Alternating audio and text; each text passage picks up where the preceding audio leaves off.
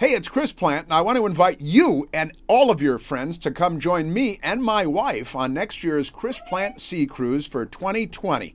Listen, we're sailing on Regent, a beautiful cruise line, Regent Seven Seas, and their beautiful Mariner ship. It is wonderful. All kinds of stuff included, all your drinks, your excursions, wonderful stuff, and lots of great friends of the Chris Plante Show. You're going to make a lot of new friends. Also, if you register before September 30th, there are great discounts.